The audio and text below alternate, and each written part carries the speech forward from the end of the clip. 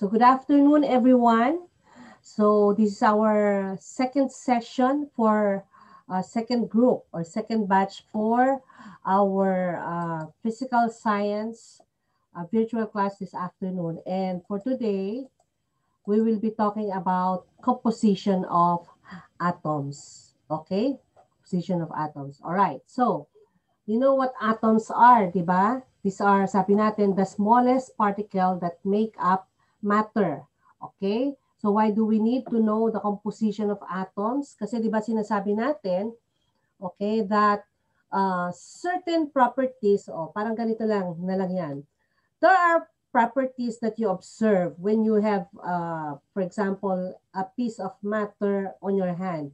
Whatever you observe as properties nitong matter na ito are actually what? Manifestations of what is happening at the atomic or molecular level. So ano yung behavior ng mga atoms doon, how they are bonded to one another, to other atoms, etc., etc. Okay, all of this are uh, manifestations that you observe at the atomic level. So in other words, if you, we put that into a statement, we can say that what we see at, or what we observe at the macroscopic level is because of what is happening at the atomic or molecular level. So it's just right that we take a look at some uh, overview of what classification of matter is. Kasi ito yon. So this is an overview or a, uh, sabi natin, a diagram that gives you an overview of the classification of matter. Okay? So this is a diagram. Para bang perspective na ito of what's in store for uh, about matter. Of course, it's not as simple as that, uh, as you see it. Uh, it's more complex than you can imagine. It's more complex than you can imagine, okay? But what's important here is that you can see from the diagram that there are two forms of matter. Okay, so we have here, dalawa lang ang form ng matter. We have the pure substances and we have the mixtures. Okay? So makikita nyo, what are mixture? These are mixtures of pure substances. For example, ano ba examples ng pure substances? We have alcohol, water, salt, things like that. And if you mix them, all right, just combine them, all right, you have mixtures. Okay, but with substances, these are characterized by what? Constant composition and it's always homogeneous, sabi nga. But mixtures are either heterogeneous or homogeneous. And we know that pure substances are either uh, elements or compounds. Okay? Elements or compounds. Ayan, elements or compounds. Okay? So let's take a look at that in a simpler presentation. Yan. There are two forms of matter. And this table here gives you a description of these two forms of matter. Okay? So substances, sabi natin, have definite and constant composition. Right? Definite and constant. And this is the reason why with this definite and constant composition will uh, you will be observing distinct properties. Okay? Kaya sabi dito, uh, elements making up compounds lose their identity due to chemical changes taking place. So, if we go back to do sa diagram natin, sabi dito, di ba? Yan.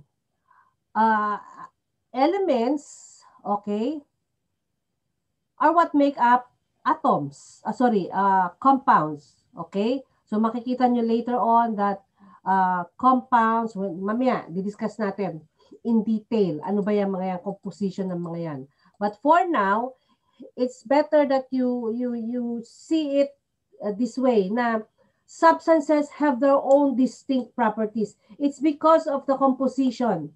Okay? The constant composition of the substances, which you cannot separate just by physical means. Ano ba physical means? Di ba? Yung mga, you cannot separate by filtration, you cannot separate by condensation, di ba? Now, if you look at the mixture side, okay, if you look at the mixture side, makikita nyo dito, sabi dito, mixtures do not have distinct properties. Why? Because the substances forming the mixtures retain their own individual properties.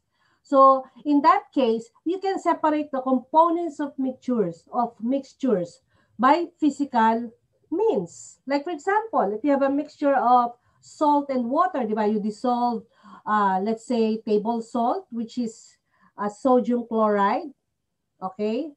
Or other salts, which you dissolve in water. Diba? How do you separate? Diba? You try to evaporate. And if you want to, um, to uh, if you want to collect yung water separately, then you condense the water that you have evaporated, di ba?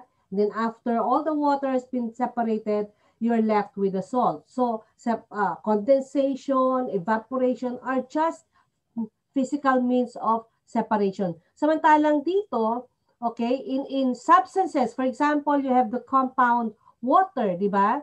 Or you cannot separate, simply separate uh, hydrogen into oxygen, okay? Uh, by physical means, by evaporation or things like that, okay? So we will be uh, elaborating that a little later on, okay? But I hope this is clear, itong sinasabi natin about these two forms of substances, okay?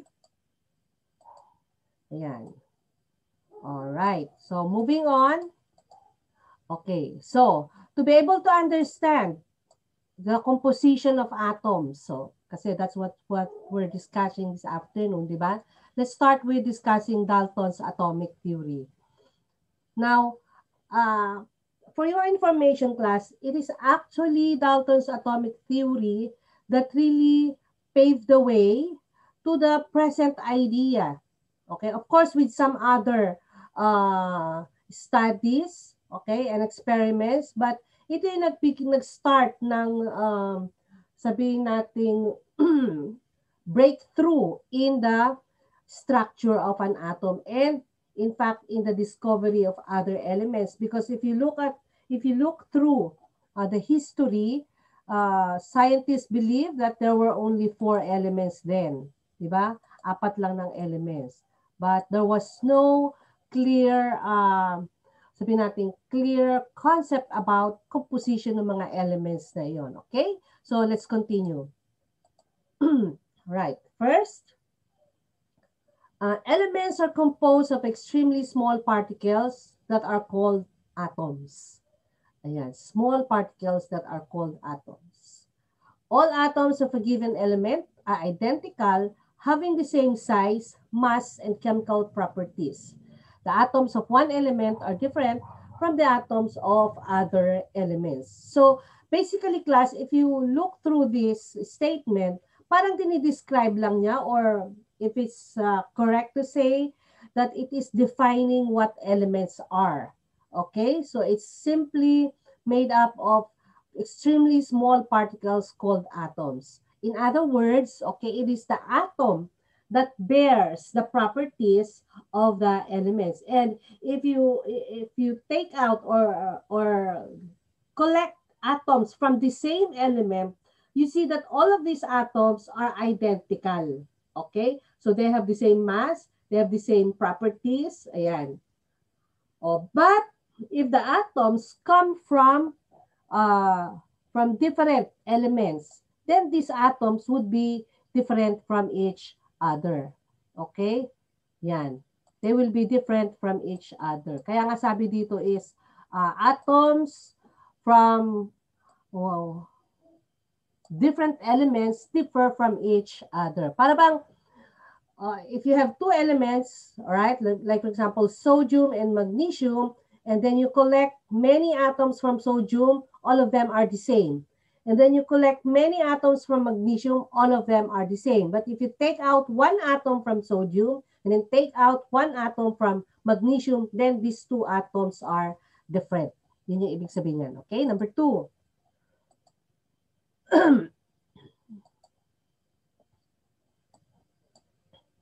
okay, number two.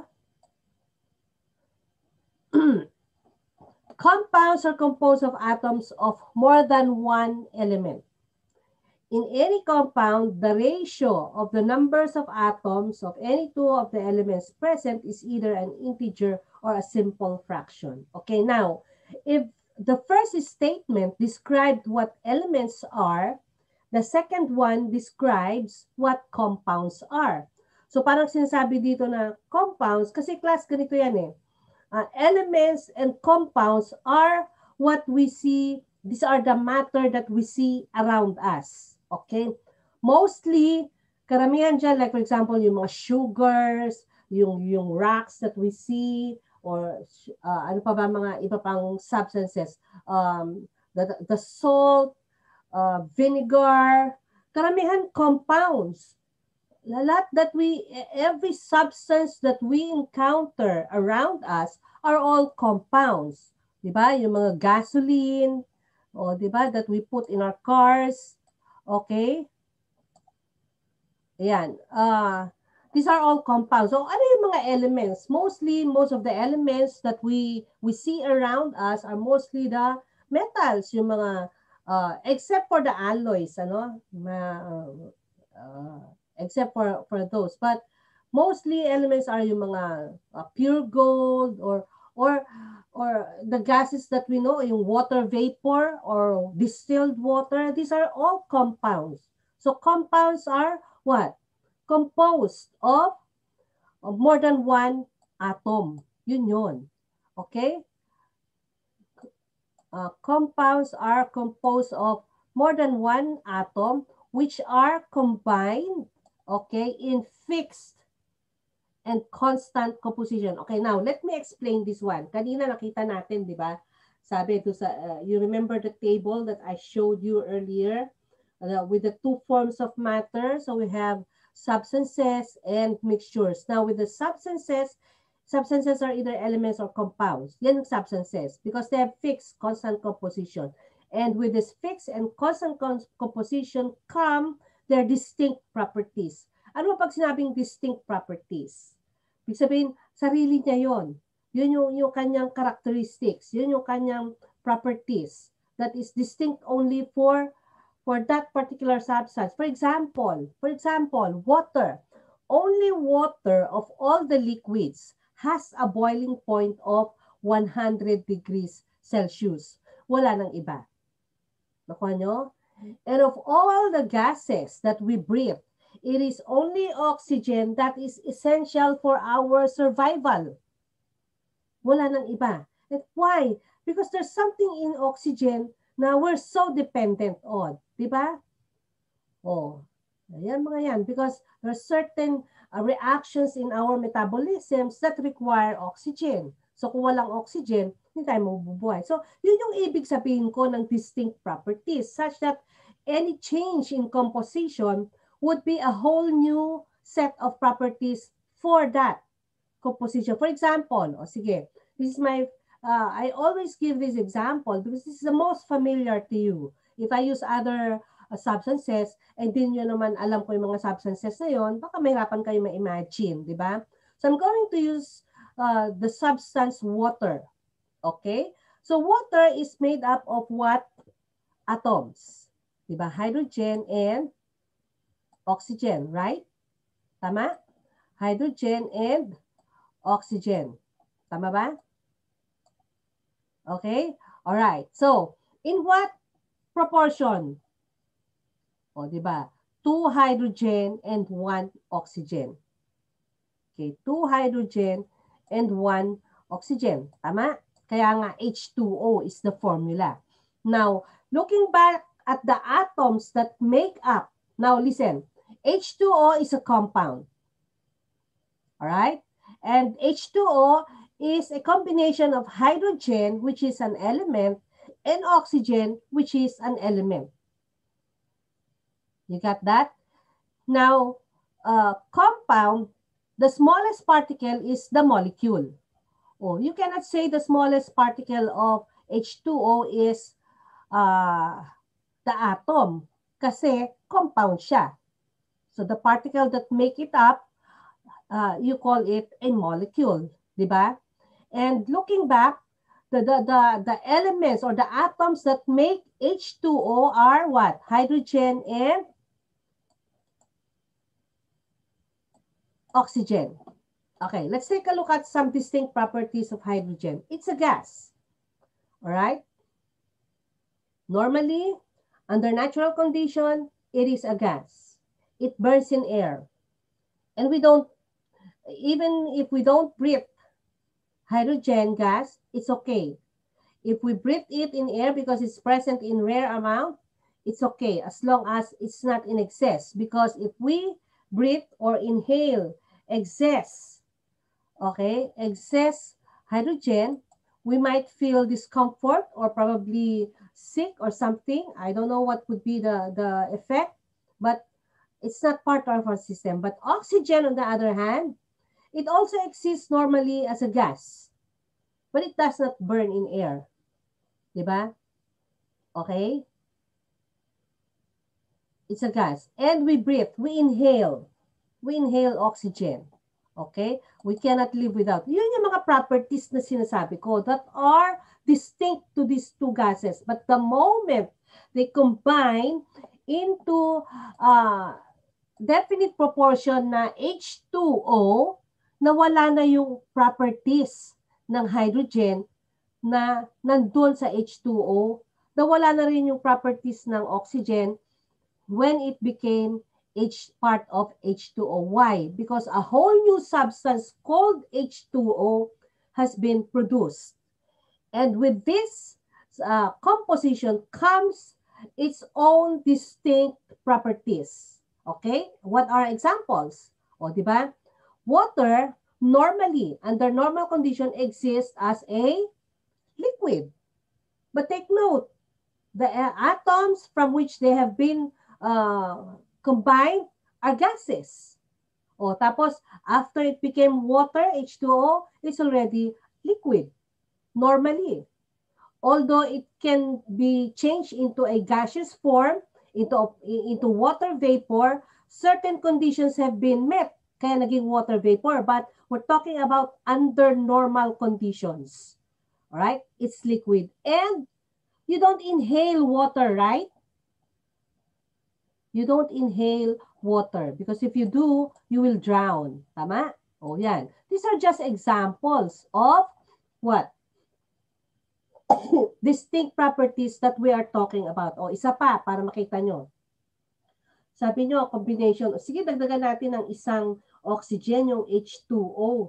Magiging H2O2.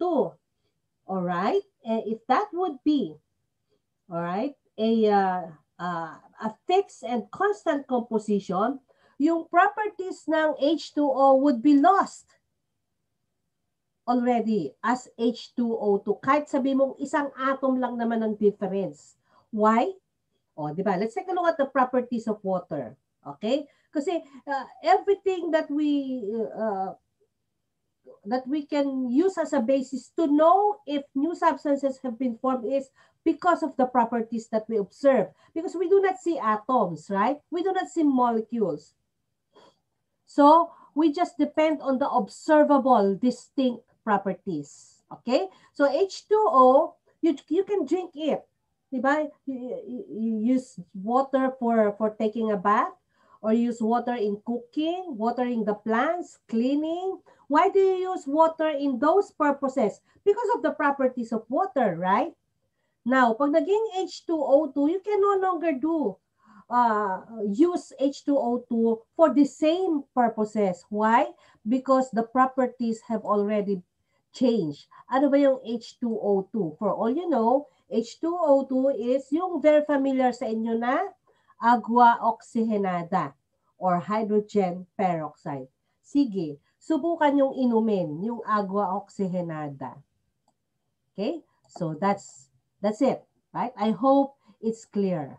All right? Number three, a chemical reaction involves only the separation combination or rearrangement of atoms. It does not result in their creation or destruction. All right. Statement 1 described what an element is. Statement 2 described what a compound is. And then if you look back to sa ating uh, table kanina of the forms of matter. Sabi doon, uh, compounds cannot be separated by chemical means, uh, sorry, by physical means, but only by chemical means. All right, so that means when hydrogen and oxygen combine to form water, a chemical reaction has taken place. Okay? How do you know that a chemical reaction has taken place? Okay? Yan. When the properties that are distinct of the substance, okay, have been lost and then a whole new set of distinct properties has been uh, formed. Yun lang yun. It does not result in the creation or destruction. Ano ibig sabihin yan? It's like this. Di ba? Hydrogen is made of atoms. Oxygen is made of atoms. And then H2O is a combination of these two atoms in a fixed and constant proportion. Okay? Now, what do we mean by statement 3? It means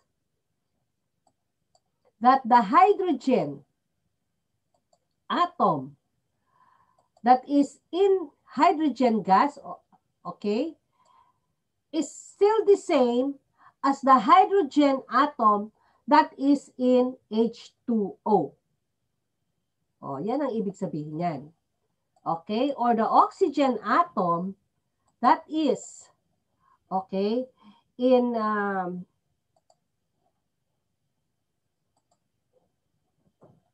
in in in oxygen gas still the same oxygen atom that is okay in H2O. Alright? Yan. So, hindi siya nag-result into uh, their creation or destruction. Okay? Ayan. Alright? So, moving on. Let's continue. Ayan. Now, if we just focus on Dalton's atomic theory, alright, we would think that the atom is uncuttable or indivisible. Okay? Ayan. Noong unang panahon, that could be true. Alright? That could be true during the time of Dalton's atomic theory. Right? In fact, class, for all you know, the word atom was derived from the Greek word atomos, which means uncuttable. But with the advancement of technology, just like now, the atom um, was discovered to have been consist of even smaller particles. And what are these particles? These are the electrons, protons, and neutrons. Okay, on the screen class, you see a table that gives you the characteristics of each of these particles. Okay, so here on the second column, these are the actual masses of these particles. Okay? So that means in grams, the actual mass of an electron is 9.1095 times 10 to the negative 28 gram. Okay, so it's very, very small that you can assume it to be massless. All right? Napakaliit. And then proton, this is the actual mass. Neutron, this is the actual mass. And you observe that protons and neutrons have what?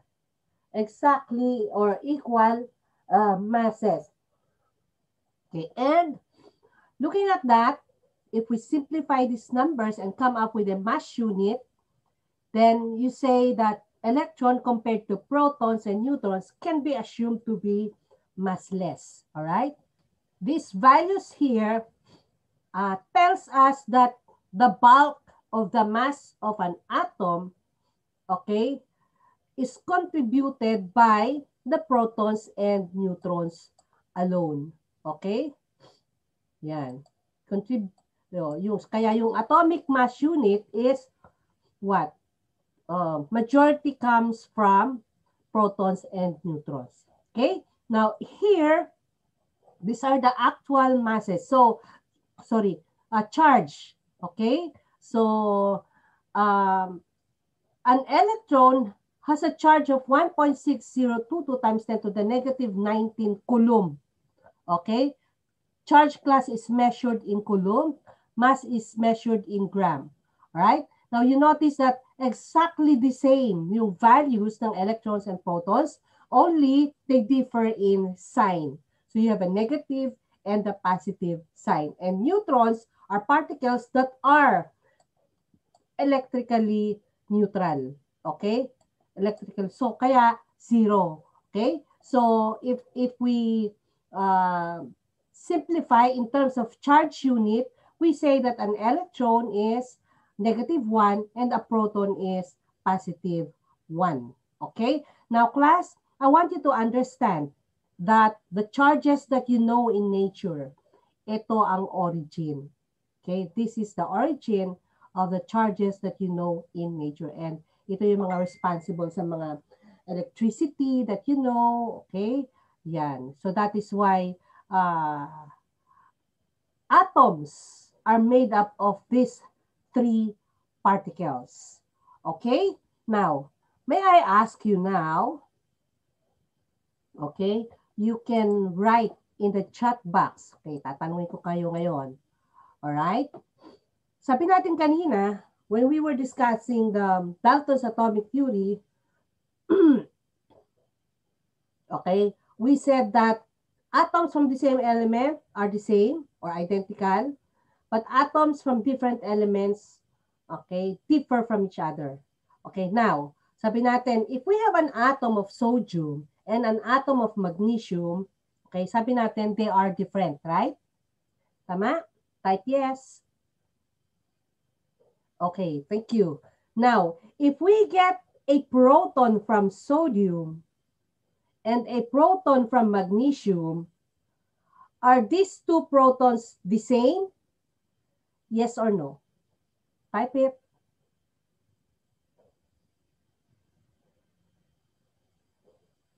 Yes, no, no.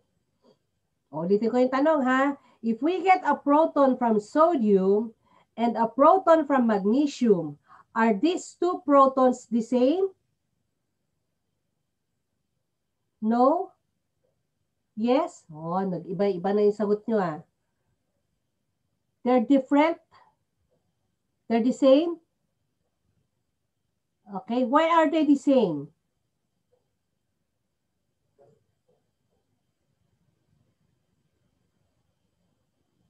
No? Why are not why are they not the same? If your answer is no. Same. Because same mass, that's one.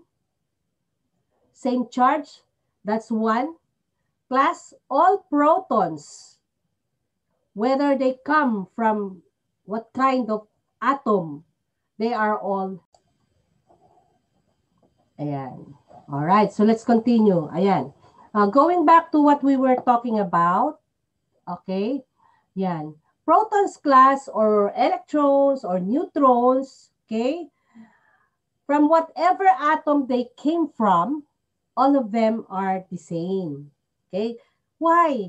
Kasi ito nga yung what makes uh, or composition ng atom. These are the uh, particles that make up an atom. Para bang if we want to make a hydrogen, di ba, we get one proton, one electron, okay, or probably one neutron, and then we have a hydrogen atom, di ba? Something like that. Okay, or if we want to make a helium atom, then we get two protons, two electrons, and probably one or two neutrons. All right? Then we have a helium atom. Okay? Ayan. Just like if we build a house, we, we use uh, hollow blocks. So, pare-pareho lahat ng hollow blocks that make up a house. So, the same is true with these particles. So, all atoms have the same protons. Alright? Kasi isa yan. Now, my question, my next question is this. Okay, if, okay, if atoms are made up of the same kind of proton, or the same kind of electron or the same kind of uh, neutrons, then why is it that a sodium atom is different from a magnesium atom? Okay. Will you give me an answer for that?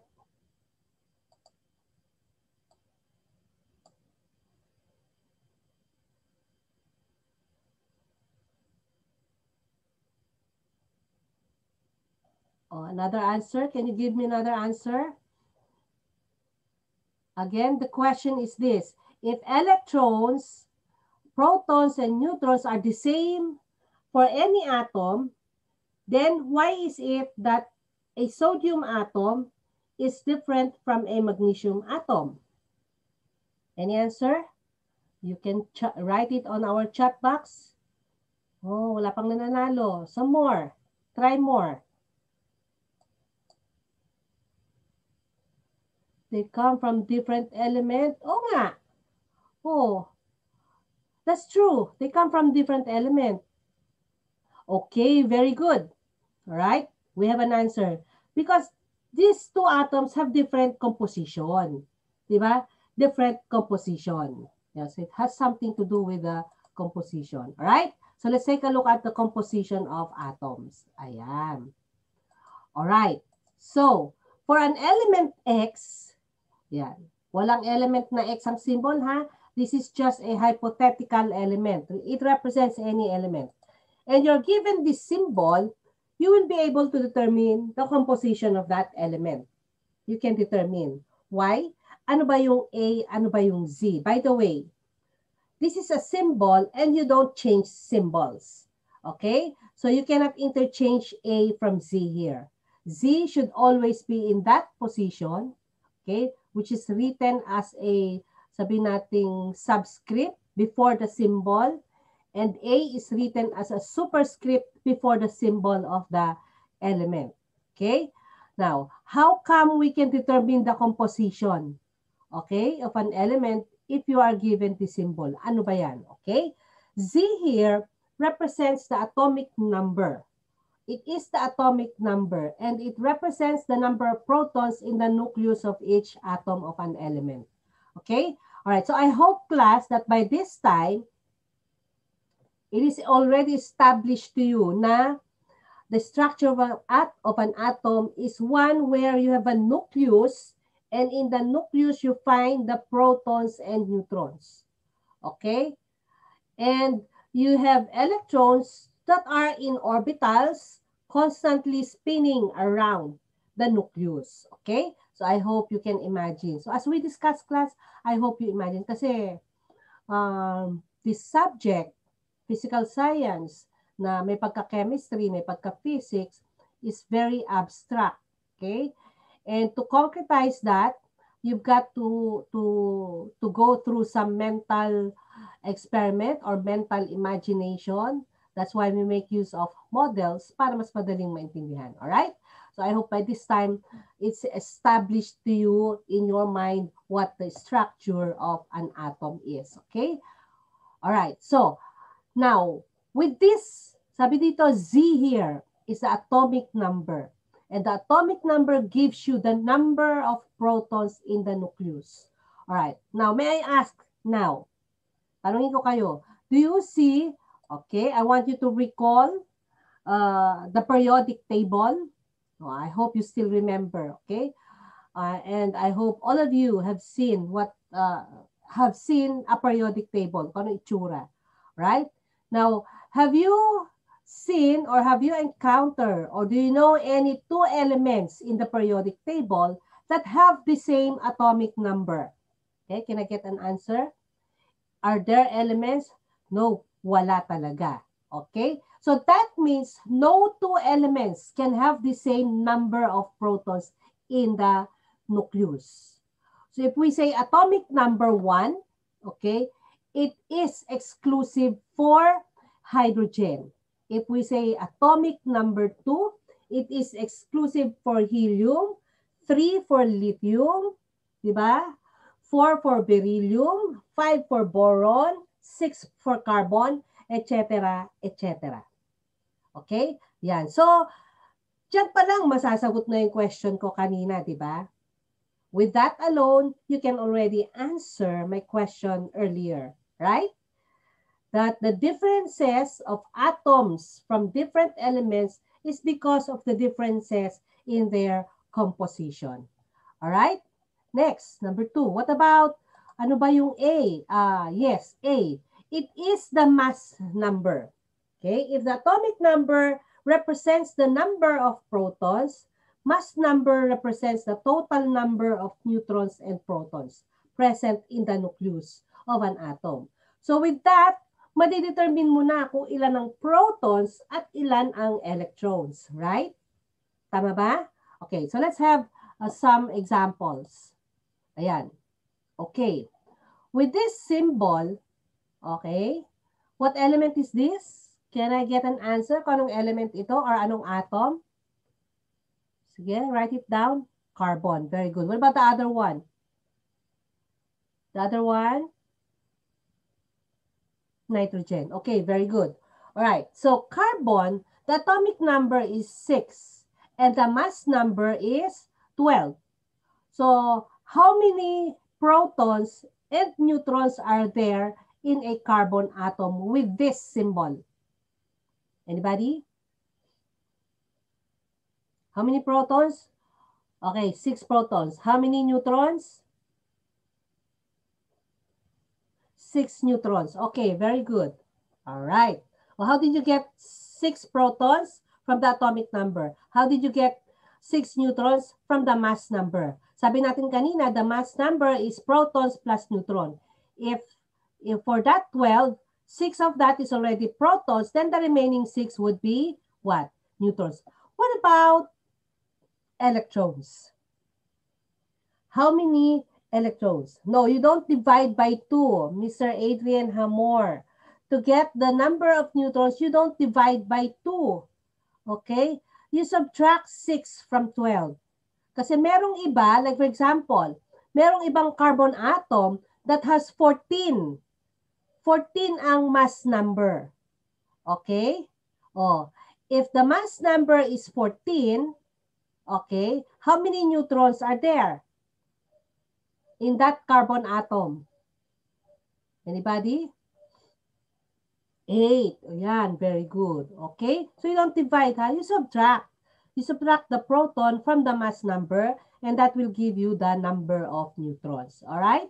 O kasi, o bakit merong carbon? Tapos 14 ang mass number. Ano yun? O mamaya, pag-usapan natin ng kauntiaan mamaya. Alright? Uh, let's, let's finish this one first before we go to that. Okay. So here, how many neutrons? Oh, sorry, how many protons? How many neutrons? 7 and 7. Now, ano na lang ang kulang natin? Number of electrons.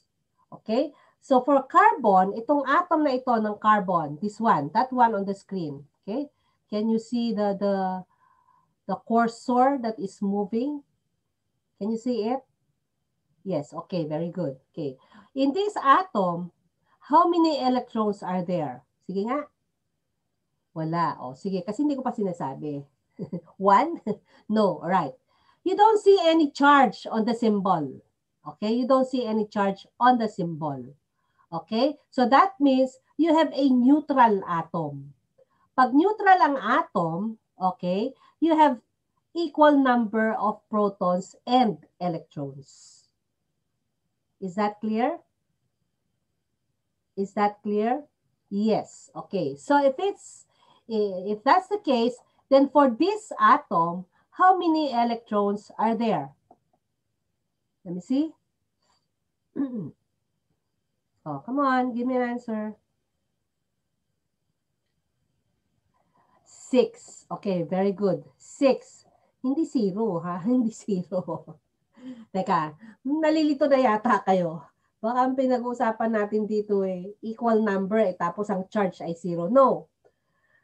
If there are equal protons and neutrons, oh, let me make this very, very clear para ma-clear ma, ma out yung, yung misconception if there is sa isip nyo or nakakanalilito kayo. Okay? It's like this. If the atom does not have a charge, oh, mamaya uh, that would become clearer pag nagkaroon tayo ng uh, as we continue. Okay? Wala kayo nakikitang charge dito nakasulat na positive o negative, right? Wala. That means the whole atom is electrically neutral. Bakit? Kasi there are equal number of protons and electrons. Okay, in the symbol, you don't find a number that represents the electrons. It is given by the charge. Okay? Ayan. Kasi kung 6 protons at 6 electrons, the total charge is 0. Kasi positive 6 plus negative 6 equals 0. That's why you don't find a positive or negative in the symbol. Okay? So here, that means equal ang protons, equal ang with the electrons. So if you have 6 protons, there are also 6 electrons. All right? Is that right? Okay, so the composition of carbon is 6 protons, 6 electrons, and 6 neutrons. And the composition of nitrogen is 7 protons, 7 electrons, and 7 neutrons. Okay, so let's have some more exercise. O sige, give me the composition of this sodium atom. How many protons, how many electrons, and how many neutrons? In that order. So parang 10 order. So, 11 watt. Oh. Kung gusto niyo sabihin niyo 11P, oh, 11, 11, 11. Talaga? Oh, another answer? Any other answer? Remember, the mass number is 23. Okay, 11, 12, 11. 12 protons. Oh my God. 11 protons, 11 electrons. Yan, may, may nanalo na. Okay? Very good, Leyan, Ishin, Sara. Okay, 11 protons, 11 electrons, and 12 neutrons. Okay? Oh, do you figure out why? Oh, the atomic number is 11. So that means there are 11 protons. And since there's no charge in the symbol, then there should be also 11 electrons. And since the mass number is 23 and 11 of that is protons, then the remaining 12 should be the neutrons. Ayan. So that's how you determine the composition of atoms. All right? O, isa pa. One more. What about this one? Okay.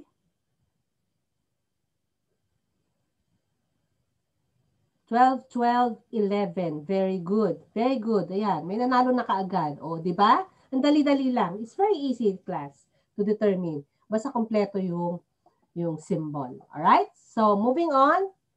Okay, yan. Formation of ions. Kanina, we were talking about uh, we were talking about neutral atoms. Okay? So, this time, let's talk about uh, ions. How are ions formed? Okay. When an atom has equal number of protons and electrons, normally the atom is electrically neutral. Yan. Normally, yan yon. However, if an atom loses one or more electrons, it becomes positively charged. Okay? It becomes positively charged. It gains electrons. If it gains electrons, it becomes negatively charged. When this happens, an ion is formed. Okay, so therefore an ion is any charged particle which is simply an atom that has lost or gained electrons. Ayan. O, di ba? Bakit nagiging positively charged pag nag-lose ng electrons? Anybody who can answer that? Anybody? Hello? O, dito, sabi dito, when an atom loses one or more electrons, it becomes positively charged. Bakit kaya? Or when it gains, it becomes negatively charged. Why is that so? Come on. Hindi balance. Okay? Alin ang hindi balance? What is not balance? Okay? Uh, partly correct, but incomplete. Which one is not balanced? Come on, Edre. Kompletuhin mo yung sagot mo. Edre Josh, please complete your answer. Which is not balanced?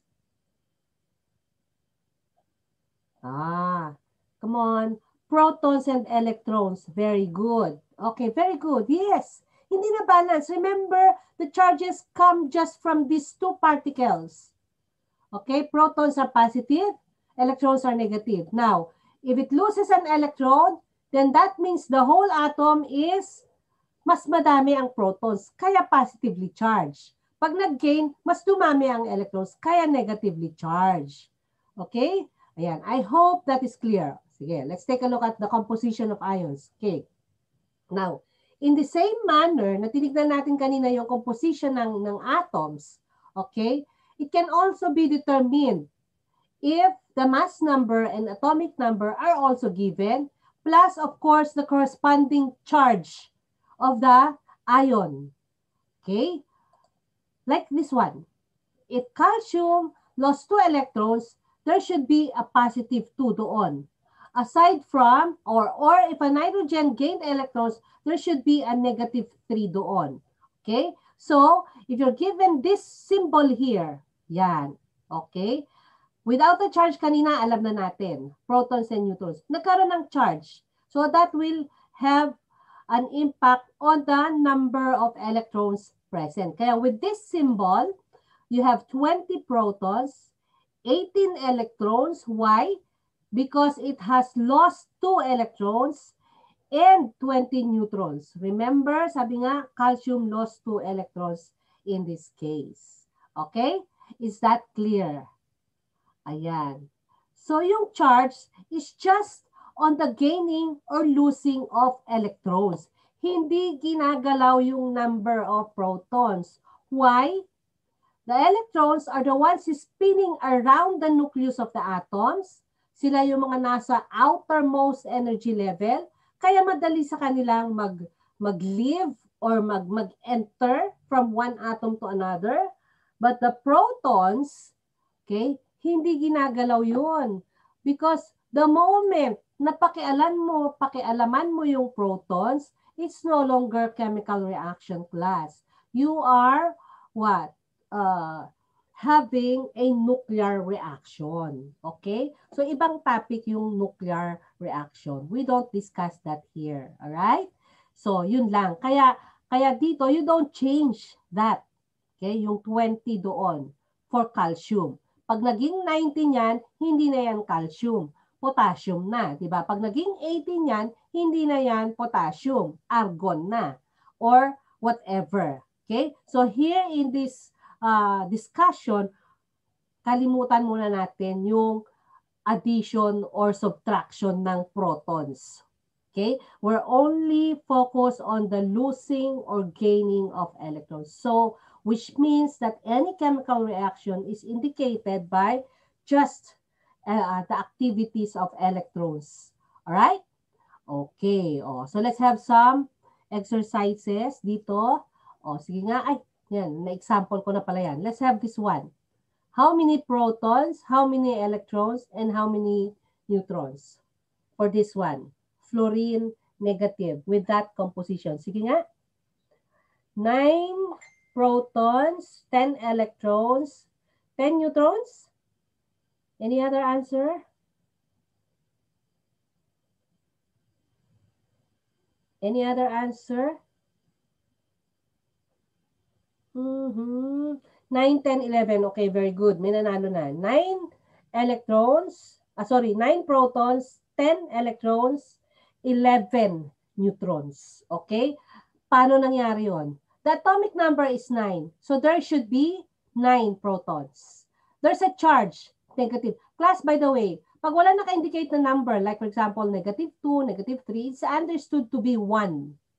So because it is negative, negative 1, this means this atom gained 1 electron. So 9 plus 1 is 10. And then the number of neutrons, 20 minus 9 is 11. All right? So that's how you get the composition of ions. Okay. Kanina, di ba, uh, I, I introduced, I have introduced yung carbon 12 na mass number, carbon 14 na mass number. In fact, meron pang carbon 13 all of them are the same carbon atoms because all of them have the same atomic numbers. Where do they differ? Sige nga, saan sila nagkakaiba? Sorry, I don't have that on the PowerPoint. Sige, okay na tayo dito sa composition ng atoms.